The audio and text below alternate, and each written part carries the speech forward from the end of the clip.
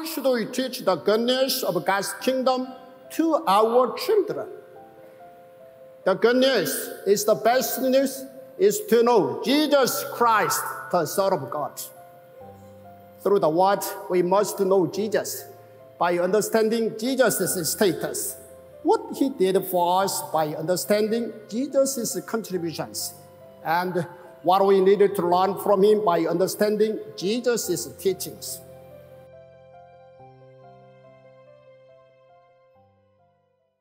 오늘도 성경을 열면 기적이 열립니다. 모든 성경 이야기에는 첫째, 하나님의 법, 둘째, 하나님의 긍휼, 셋째, 하나님의 기적이 들어있습니다. 1년 1독 통독 성경 오늘 보면 베드로 전서 1장에서 5장입니다. 당시 유대교 유대인들은 예수 그리스도를 건축자들이 버린 돌같이 여겼습니다. 그들은 또한 예수님에 대해서 많은 무리를 선동하고 대제사장 세력들과 대항하다가 십자가에 처형된 불쌍한 인생으로 여겼습니다. 그러나 하나님께 순종한 예수님은 세상의 모든 죄인을 구원하시기 위해 스스로 모퉁이의 머릿돌이 되신 하나님의 아들이십니다. 베드로는 당시 로마 제국의 박해로 인해 힘들게 믿음 생활을 하는 성도들에게 그들은 택하신 족속, 왕같은 제사장, 거룩한 나라, 그리고 하나님의 소유가 된 백성들이라고 선포합니다. 베드로는 하나님께서 이스라엘 백성들에게 내리신 이 복을 예수 이름으로 인해 박해를 받는 그리스도인들에게 돌립니다.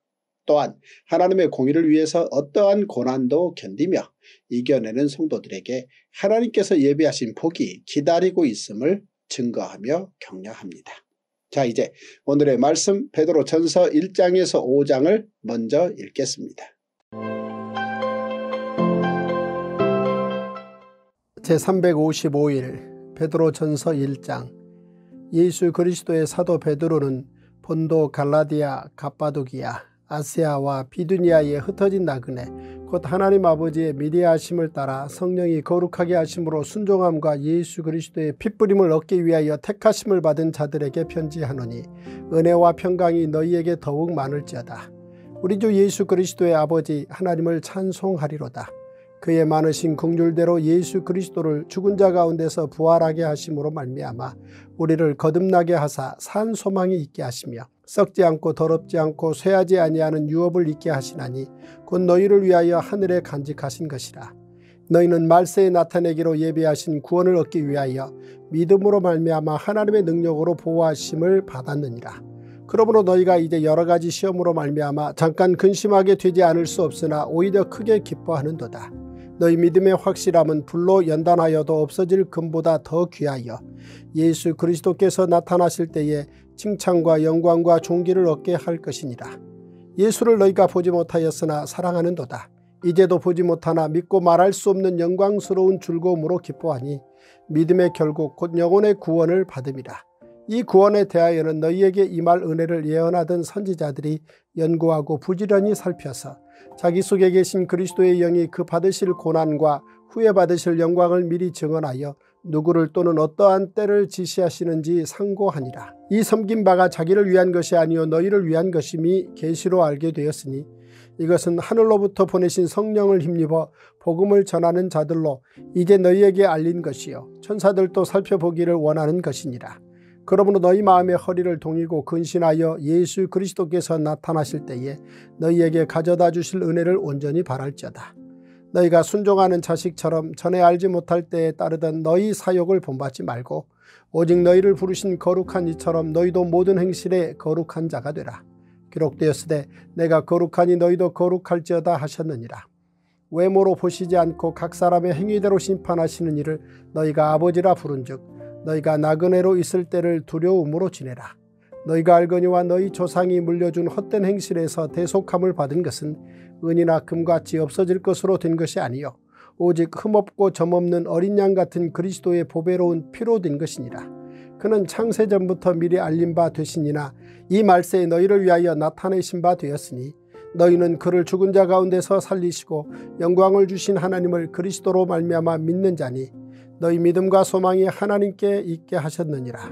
너희가 진리를 순종함으로 너희 영혼을 깨끗하게 하여 거짓이 없이 형제를 사랑하기에 이르렀으니 마음으로 뜨겁게 서로 사랑하라.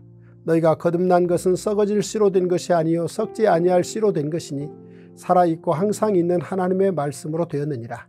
그러므로 모든 육체는 풀과 같고 그 모든 영광은 풀의 꽃과 같으니 풀은 마르고 꽃은 떨어지되 오직 주의 말씀은 세세토록 있도다 하였으니 너희에게 전한 복음이 곧 이 말씀이니라. 베드로전서 2장 그러므로 모든 악독과 모든 기만과 외식과 시기와 모든 비방하는 말을 버리고 갓난 아기들 같이 순전하고 신령한 젖을 사모하라. 이는 그로 말미암아 너희로 구원에 이르도록 자라게 하려 함이라. 너희가 주의 인자하심을 맛보았으면 그리하라.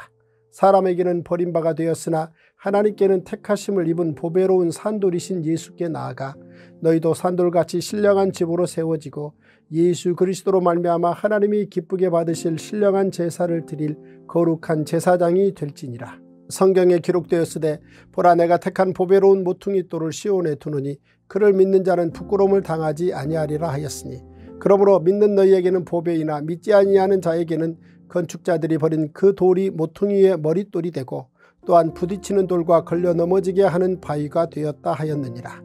그들이 말씀을 순종하지 아니하므로 넘어지나니 이는 그들을 이렇게 정하신 것이라. 그러나 너희는 택하신 족속이요 왕같은 제사장들이요 거룩한 나라요 그의 소유가 된 백성이니 이는 너희를 어두운 데서 불러내어 그의 기이한 빛에 들어가게 하신 이의 아름다운 덕을 선포하게 하려 하십니다. 너희가 전에는 백성이 아니더니 이제는 하나님의 백성이요 전에는 긍휼을 얻지 못하였더니 이제는 긍휼을 얻은 자니라.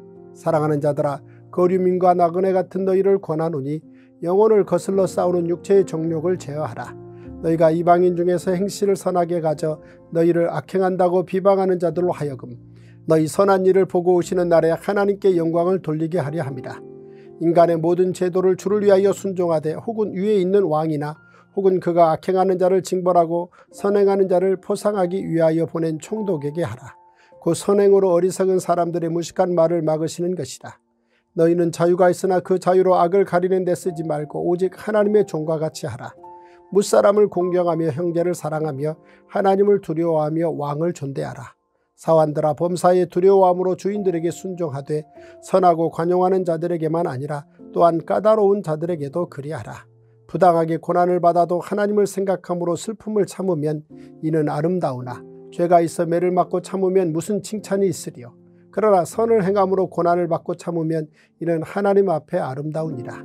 이를 위하여 너희가 부르심을 받았으니 그리스도도 너희를 위하여 고난을 받으사 너희에게 본을 끼쳐 그 자취를 따라오게 하려 하셨느니라. 그는 죄를 범하지 아니하시고 그 입에 거짓도 없으시며 욕을 당하시되 맞대어 욕하지 아니하시고 고난을 당하시되 위협하지 아니하시고 오직 공의로 심판하시는 이에게 부탁하시며 친히 나무에 달려 그 몸으로 우리 죄를 담당하셨으니 이는 우리로 죄에 대하여 죽고 의에 대하여 살게 하려 하심이라.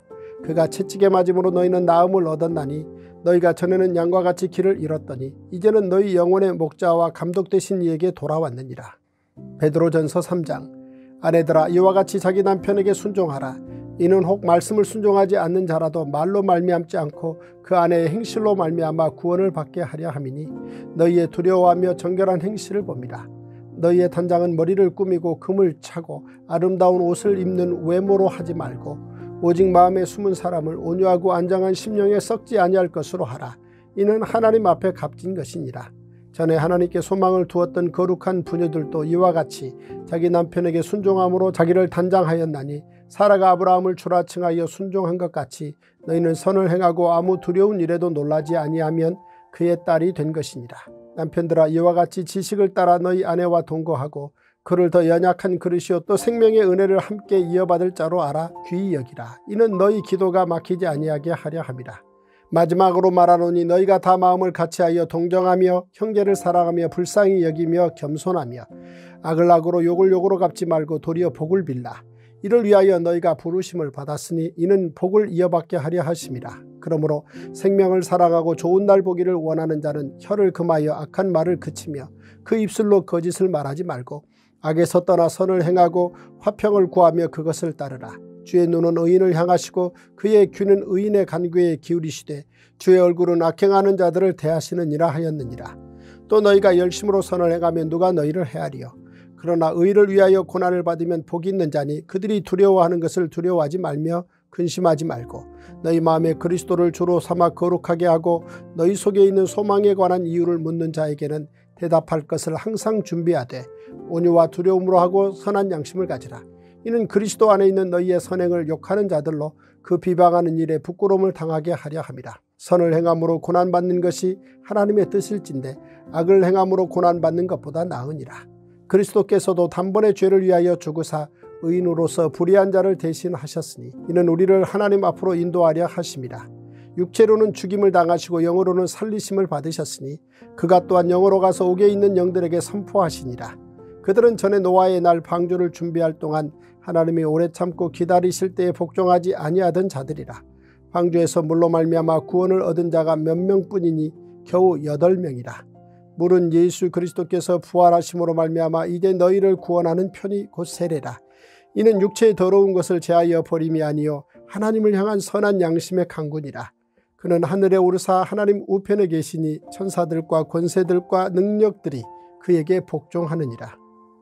베드로전서 4장 그리스도께서 이미 육체의 고난을 받으셨으니 너희도 같은 마음으로 갑옷을 삼으라. 이는 육체의 고난을 받은 자는 죄를 그쳤음이니 그 후로는 다시 사람의 정욕을 따르지 않고 하나님의 뜻을 따라 육체의 남은 때를 살게 하려 함이라.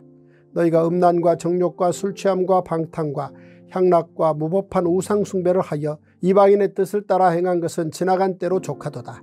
이러므로 너희가 그들과 함께 그런 극한 방탕에 다름질하지 아니하는 것을 그들이 이상히 여겨 비방하나 그들이 산자와 죽은 자를 심판하기로 예비하신 이에게 사실대로 고하리라.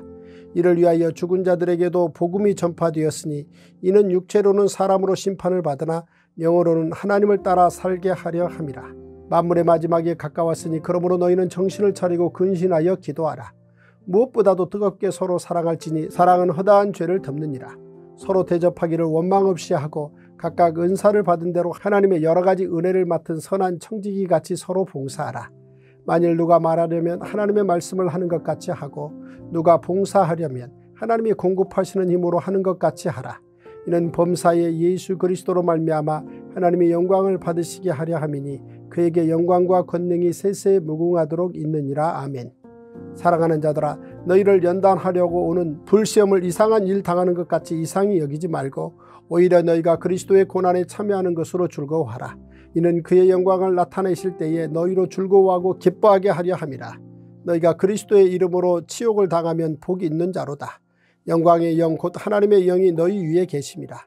너희 중에 누구든지 살인이나 도둑질이나 악행이나 남의 일을 간섭하는 자로 고난을 받지 말려니와 만일 그리스도인으로 고난을 받으면 부끄러워하지 말고 도리어 그 이름으로 하나님께 영광을 돌리라. 하나님의 집에서 심판을 시작할 때가 되었나니 만일 우리에게 먼저 하면 하나님의 복음을 순종하지 아니하는 자들의 그 마지막은 어떠하며 또 의인이 겨우 구원을 받으면 경건하지 아니한 자와 죄인은 어디에 서리요. 그러므로 하나님의 뜻대로 고난을 받는 자들은 또한 선을 행하는 가운데 그 영혼을 미쁘신 창조주께 의탁할지어다. 베드로전서 5장 너희 중 장로들에게 권하노니 나는 함께 장로된 자요 그리스도의 고난의 증인이요 나타날 영광에 참여할 자니라. 너희 중에 있는 하나님의 양무리를 취대 억지로 하지 말고 하나님의 뜻을 따라 자원함으로 하며 더러운 이득을 위하여 하지 말고 기꺼이 하며 맡은 자들에게 주장하는 자세를 하지 말고 양무리의 본이 되라. 그리하면 목자장이 나타나실 때에 시들지 아니하는 영광의 관을 얻으리라. 젊은 자들아 이와 같이 장로들에게 순종하고 다 서로 겸손으로 허리를 동이라. 하나님은 교만한 자를 대적하시되 겸손한 자들에게는 은혜를 주시느니라. 그러므로 하나님의 능하신 손 아래에서 겸손하라. 때가 되면 너희를 높이시리라. 너희 염려를 다 죽게 맡기라. 이는 그가 너희를 돌보십니다. 근신하라 깨어라 너희 대적 마귀가 우는 사자같이 두루다니며 삼킬 자를 찾나니 너희는 믿음을 굳건하게 하여 그를 대적하라. 이는 세상에 있는 너희 형제들도 동일한 고난을 당하는 줄을 압니다. 모든 은혜의 하나님 곧 그리스도 안에서 너희를 부르사 자기의 영원한 영광에 들어가게 하시니가 잠깐 고난을 당한 너희를 친히 온전하게 하시며 굳건하게 하시며 강하게 하시며 털을 견고하게 하시리라. 권능이 세세무궁하도록 그에게 있을지어다. 아멘. 내가 신실한 형제로 아는 실로 안으로 말미암아 너희에게 간단히 써서 권하고 이것이 하나님의 참된 은혜임을 증언하노니 너희는 이 은혜에 굳게 서라. 택하심을 함께 받은 바벨론에 있는 교회가 너희에게 무난하고 내 아들 마가도 그리하느니라. 너희는 사랑의 입맞춤으로 서로 무난하라. 그리스도 안에 있는 너희 모든 이에게 평강이 있을지어다.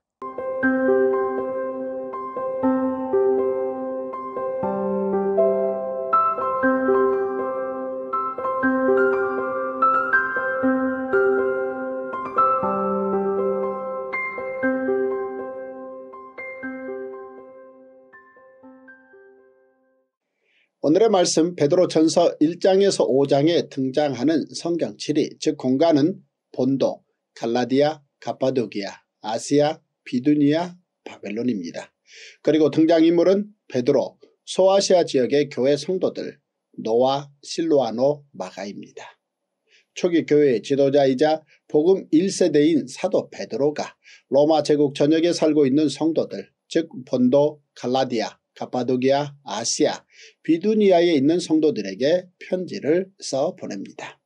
본도는 바다라는 뜻으로 본도, 갈라디아, 가파도기아, 아시아, 비두니아 모두 소아시아 지역입니다.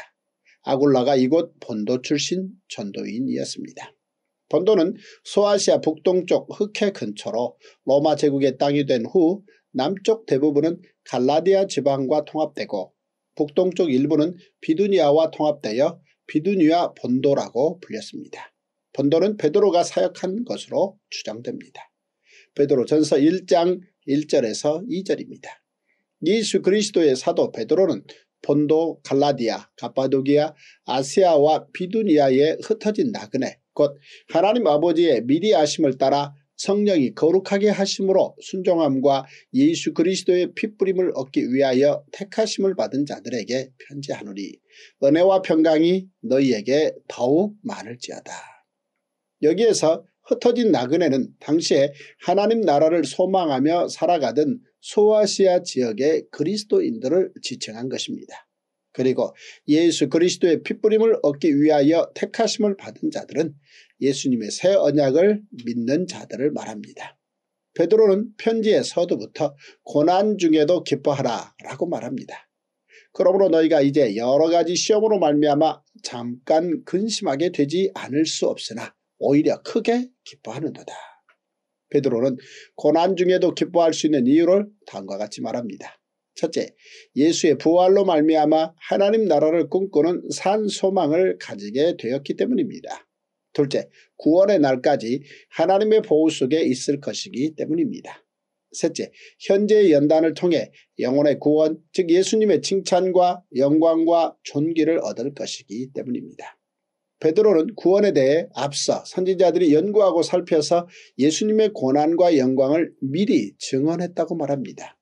이 구원에 대하여는 너희에게 임할 은혜를 예언하던 선지자들이 연구하고 부지런히 살펴서 자기 속에 계신 그리스도의 영이 그 받으실 고난과 후에 받으실 영광을 미리 증언하여 누구를 또는 어떠한 때를 지시하는지 상고하니라. 그리고 이 사실은 선지자들을 위해서가 아니라 당시의 그리스도인들을 위한 계시였다는 것입니다. 즉 선지자들의 계시는 성령에 힘입어 전한 것으로 그 계시는 바로 예수 그리스도가 증거라는 것입니다. 그러므로 그리스도를 믿는 믿음으로 구원받은 성도들에게 다음과 같이 권면합니다. 첫째, 모든 행실에 거룩한 자가 되라고 말합니다. 성도들이 거룩해야 하는 이유는 아버지 하나님께서 거룩하시기 때문이고 하나님께서 각 사람의 행위대로 심판하실 것이기 때문입니다. 둘째, 하나님께 믿음과 소망을 두고 살라고 말합니다. 셋째, 서로 뜨겁게 사랑하며 살라고 말합니다. 믿음의 시대는 결국 예수 그리스도께서 다시 오시는 날에 칭찬과 영광과 존귀로 변하게 될 것인데 이것을 확정할 수 있는 것은 세상의 모든 것이 변할지라도 주의 말씀은 세세토록 변하지 않는 영원한 진리이기 때문입니다. 그러므로 모든 육체는 풀과 같고 그 모든 영광은 풀의 꽃과 같으니 풀은 마르고 꽃은 떨어지되 오직 주의 말씀은 세세토록 있도다 하였으니 너희에게 전한 복음이 곧 이 말씀이니라. 이는 베드로가 이사야의 말씀을 인용한 것입니다. 베드로는 또한 구약 성경의 말씀을 인용해 하나님 나라의 백성이 된 성도에 대해 가르쳐주며 권면합니다. 첫째, 구원에 이르기까지 성장하라고 말합니다. 둘째, 산돌이신 예수님과 연합하여 하나님 나라 백성이 되라고 말합니다. 베드로는 계속해서 성도의 신분에 대해 구약의 말씀을 가지고 가르쳐 줍니다. 너희는 택하신 족속이요 왕 같은 제사장들이요 거룩한 나라요 그의 소유가 된 백성이니 이는 너희를 어두운 데서 불러내어 그의 기이한 빛에 들어가게 하신 이의 아름다운 덕을 선포하게 하려 하십니다. 너희가 전에는 백성이 아니더니 이제는 하나님의 백성이요 전에는 극류를 얻지 못하였더니 이제는 극류를 얻은 자니라. 택하신 족속이라는 것은 이사야의 기록이었습니다. 그리고 왕같은 제사장 거룩한 나라 하나님의 소유된 자들이라는 것은 출애굽기의 기록이었습니다. 베드로는 하나님의 백성이 된 성도들이 대사회적으로 그리고 가정에서 어떻게 관계를 맺고 역할을 해야 하는지 가르치며 권면합니다. 그리고 고난 중에 있는 성도들에게 한 마음으로 서로 사랑하라고 권면합니다. 악을 악으로 갚지 말고 복을 빌며 오히려 더욱 선을 행하고 복음을 전하라고 권면합니다. 베드로가 이러한 권면을 한 이유는 이 땅에 사는 동안은 성도들이 외국인이며 나그네라는 사실을 깨닫게 하므로 믿음으로 고난을 이겨내고 하나님 나라의 시민으로서 천국을 소망하게 하기 위함이었습니다. 베드로는 성도들에게 고난의 유익을 말합니다.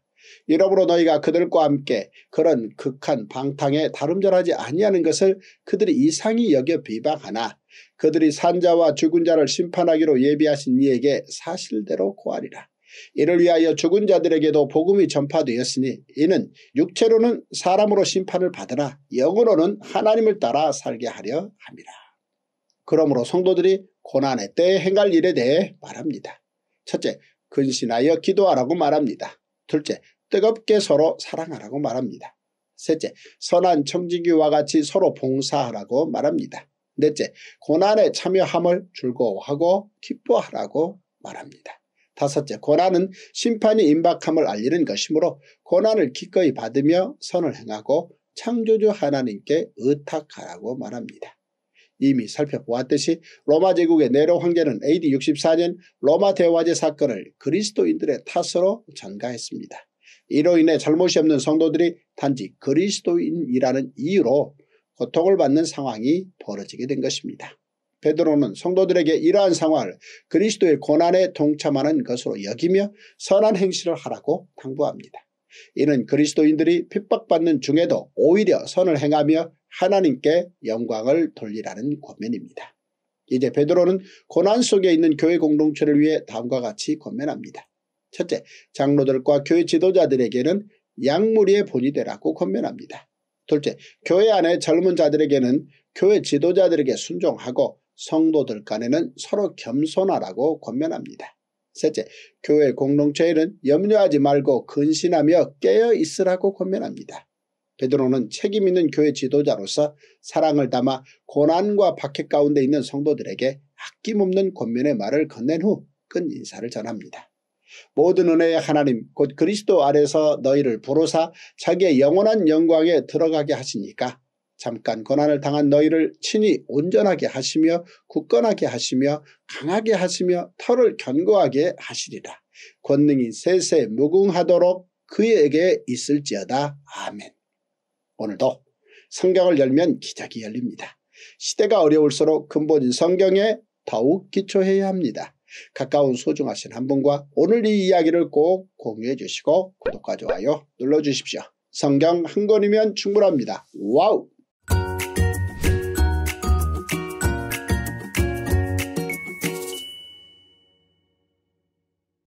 히말라야 2만여 개 마을의 복음화를 위한 에베레스트산 선교훈련센터 건립에 여러분의 기도와 한 구자 동참을 부탁드립니다. Dr. James O. Davis, the founder and president of Global Church Network, has repeatedly said, For my entire life, I've heard about the underground church in the Middle East, but now it is time to hear about the upper ground church in the Himalayan mountains. The Himalayan mountains are 1,500 miles wide, ranging from Bhutan to Nepal, India, Pakistan, and Afghanistan. There are more than 20,000 villages in the higher altitudes that have never had a local church in them. Mount Everest Training Center. The Mount Everest Training Center will be located in Salokambu, Nepal at the 8,000 foot level. Salokambu has a population of more than 110,000 people. In addition to training leaders during the week, the Mount Everest Training Center will serve as a phenomenal church on the weekends.